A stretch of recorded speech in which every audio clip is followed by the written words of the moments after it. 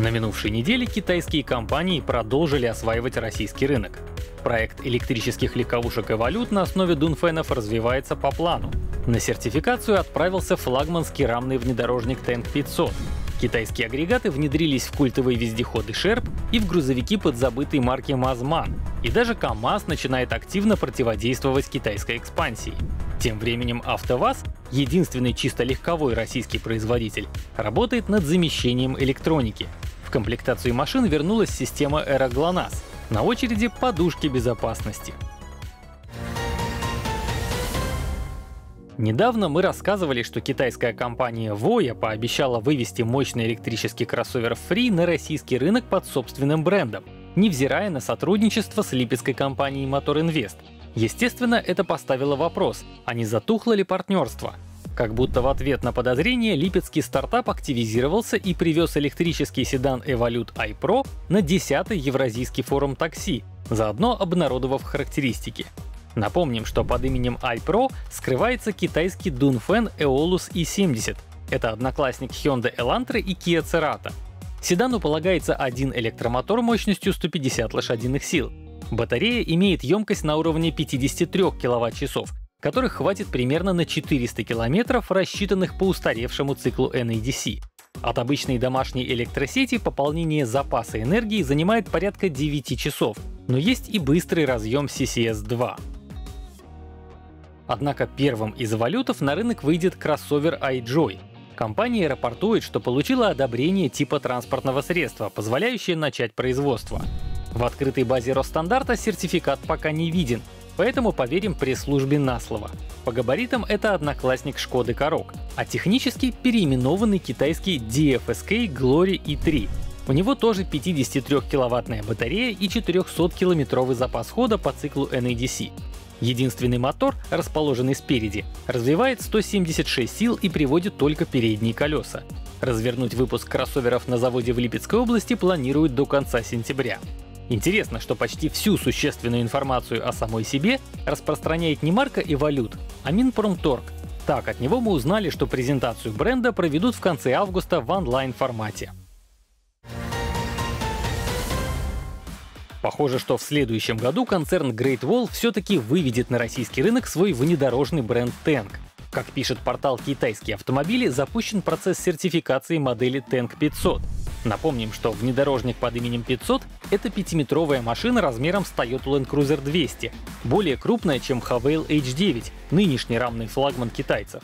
Под капотом у Тенка трехлитровый бензиновый турбомотор, который умеет работать по циклу Миллера. В пару ему отрядили девятиступенчатый автомат. Однако в целом же речь идет о развитии Хавейла H9, у которого заимствована платформа, а именно рама, двухрычажная передняя подвеска, неразрезной задний мост и подключаемый полный привод. АвтоВАЗ снова начал оснащать Гранту и Ниву системой экстренного оповещения «Эроглонас». С 1 августа такие машины начали сходить с конвейера в Тольятти, а сейчас добрались и до дилеров. Автогигант уверяет, что Эра вернулась на все выпускаемые гранты и классические Nive Legend. Однако в прайс-листе самой простой антикризисной комплектации Гранта Classic, той, что без кондиционера, система Air GLONASS не упомянута. Объясняется это просто. Машины без кондишена перестали выпускать, хотя в продаже они пока есть. Что касается более дорогой Гранты с кондиционером, который вернулся в комплектацию 26 июля, то для нее возвращение тревожной кнопки совпало с косметическим подорожанием на 2000 рублей. Кстати, термин «тревожная кнопка» в данном случае точен, ведь АвтоВАЗ возвращает не полнофункциональную систему с автоматическим срабатыванием, а более простую. Такая в былые времена обязательно ставилась на ввозимые в Россию подержанные автомобили. Дело в том, что для автоматического вызова экстренных служб нужна подушка безопасности. Именно ее раскрытие становится поводом для подачи сигнала СОС.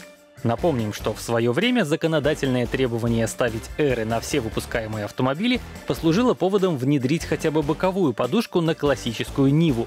Пока мест эйрбэги на гранты и Нивы не вернулись, но это дело ближайшего будущего. Президент АвтоВАЗа Максим Соколов на прошлой неделе сообщил, что запас подушек завод уже сформировал и начнет производство таких машин в конце августа. Кто поставляет компоненты и как изменятся цены, узнаем позже. Еще одна тема — АБС. Как мы уже сообщали, в начале лета АвтоВАЗ договаривался с китайской компанией Trinova, она же Beidin Incheon Huiji Technology, чьи антиблокировочные системы представляют собой аналог электроники Bosch восьмого поколения. Мы предполагали, что вопрос с АБС будет закрыт уже в этом году, но похоже, что ситуация сложнее. Китайскую АБС пока поставили на Largus. Ограниченную партию из 1800 машин в Тольятти уже собрали.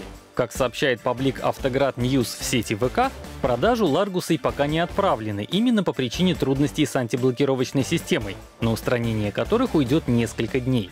К слову, еще сотни окрашенных кузовов Ларгусов готовы к отправке на сборочные заводы в казахском Костанае и узбекском Джизаке. Вообще, массовая установка АБС на автомобиле «Лада» возобновится только в следующем году. Причем автогигант ссылается не только на трудности с поиском поставщиков, но и на желание локализовать производство электронных блоков. Что касается системы стабилизации, то срок ее возвращения сейчас не называется.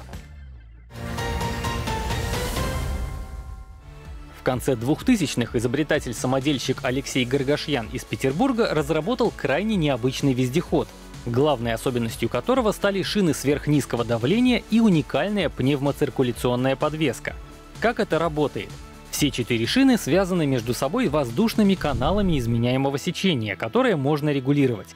При наезде одного колеса на препятствие система равномерно распределяет давление между тремя другими — Благодаря такому конструктиву снегоболотоход готов преодолевать преграды высотой до 1 метра, поскольку колеса, перед которыми находится препятствие, способны сильно деформироваться.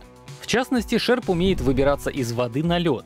Опытный экземпляр вездехода купил украинский предприниматель Владимир Школьник и сразу решил наладить серийное производство подобных проходимцев. В 2012 году бизнесмен создал конструкторское бюро, а двумя годами позже начал выпуск машин. Выпускались шерпы на двух предприятиях.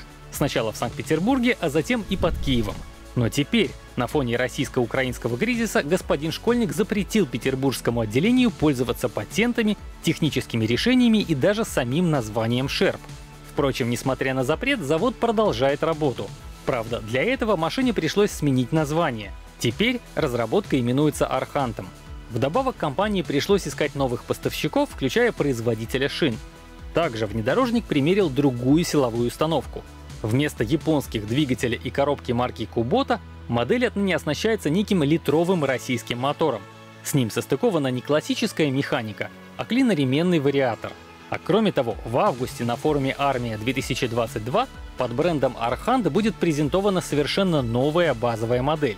Впрочем, новинка, представленная на рендерах, внешне здорово напоминает старый добрый Шерп — она оснащается трехцилиндровым безнаддувным дизелем корейской марки Doosan. При объеме 1,8 литра этот движок выдает скромные 55 сил. С ним агрегатирована шестиступенчатая механическая коробка, хотя ранее анонсировался вариатор.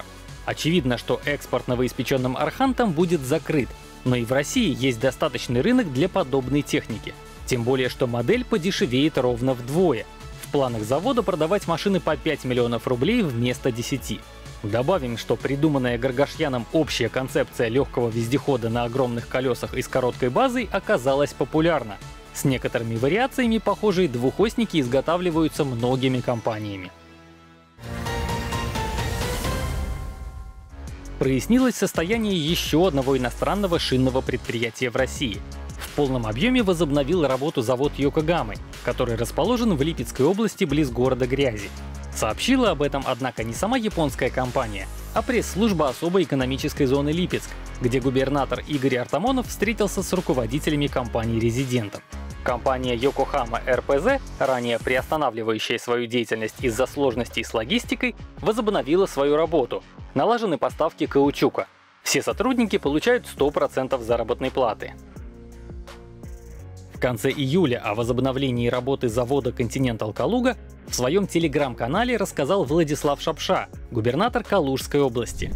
Завод Continental Калуга 1 августа возобновляет работу. Смогли перестроить логистические цепочки, найти новых поставщиков и возобновляют производство в объеме, позволяющем удовлетворить потребности авторынка. Внимательные зрители канала Автоплюс вспомнят, что аналогичную новость мы сообщали еще в апреле. Тогда о возобновлении работы предприятия сообщили франкфуртские и российские офисы самой компании Continental тех пор завод действительно работал, с одной паузой в июле, когда пришлось дождаться поставки сырья. Что касается других иностранных марок, то абсолютно неясной остается судьба ульяновского завода Bridgestone, который не ведет производственной деятельности с 18 марта, но продолжает выплачивать зарплату 1100 своим сотрудникам. Завод компании Мишлен в подмосковном Давыдове, где работало 750 человек, тоже остановлен. Но в конце июня французская компания объявила о решении передать российский бизнес в управление локальному менеджменту, чтобы новая организация работала через независимую структуру. Завод Nokian Tires во Всеволожске Ленинградской области избежал простоя.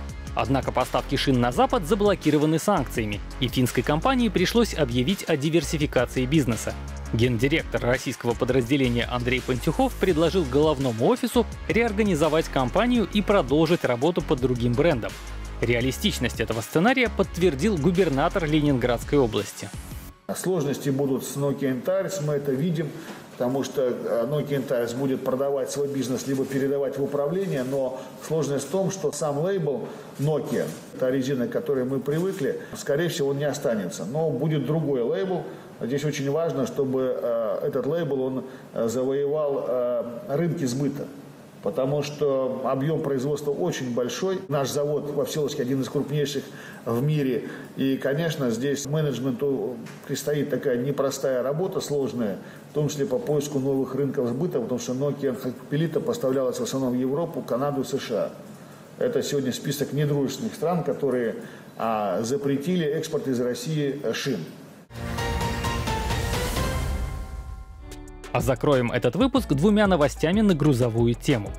В самом конце 90-х белорусский МАЗ и немецкий МАН создали совместное предприятие МАЗ-МАН, которое занялось выпуском тягачей. У них были мановские кабина, двигатель и коробка передач, но чисто мазовское шасси. В 2005 году поставки кабинных модулей немолодой серии F2000 прекратились, а на замену им пришла чисто мазовская кабина, из-за чего машины получили прозвище МАЗ-МАЗ. А вскоре немцы вообще вышли из состава учредителей. После этого предприятие решило заняться выпуском нестандартных грузовиков для специализированных задач. Плюс белорусы освоили производство снегоболотоходов, погрузчиков и прицепов. Что касается автомобилей, то им достались двигатели МАН и коробки CTF. Рамы, сохранивший прежнее название МАЗМАН, делал самостоятельно, закупая китайские лонжероны, а мосты предлагались на выбор — из Китая, Германии или Белоруссии. Любопытно, что кабины отгружал Минский автозавод, но их оснащали оригинальным оперением, а также основательно дорабатывали, перекладывали электропроводку, улучшали шумоизоляцию и тому подобное. Теперь, когда мановские моторы окончательно стали санкционкой, от белорусско-немецкой дружбы осталось одно название. Поэтому технике пришлось примерить рядные шестерки поднебесного происхождения. Это VHI мощностью 430, 460 и 550 сил. Впрочем, китайцы готовы поставлять не только отдельные агрегаты, но и автомобили целиком. Так, по итогам июля Шанси, Хова и Фау суммарно продали на российском рынке более 2000 единиц техники, тогда как КАМАЗ реализовал 2500 машин.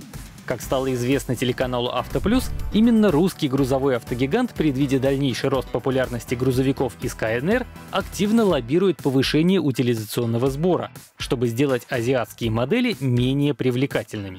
Кроме того, в набережных Челнах надумали предложить грандиозные скидки на свои самые ходовые модели. На самосвалы, шасси и даже бетоносмесители теперь действуют фиксированные цены, неподвластные дилерам.